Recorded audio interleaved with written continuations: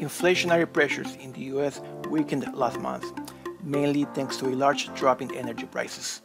According to the Labor Department, the July Consumer Price Index remained unchanged month over month, well below the expected 0.2% increase.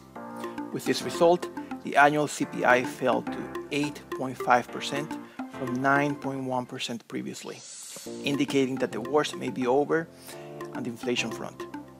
Although cooling price pressures are welcome, inflation remains more than four times above the Fed's 2% target, indicating that there's still work to be done in terms of monetary tightening. The Fed has said that elevated uncertainty about the inflation outlook requires policymakers to be nimble and data dependent. Today's CPI results will not give the central bank the flexibility to change course just yet.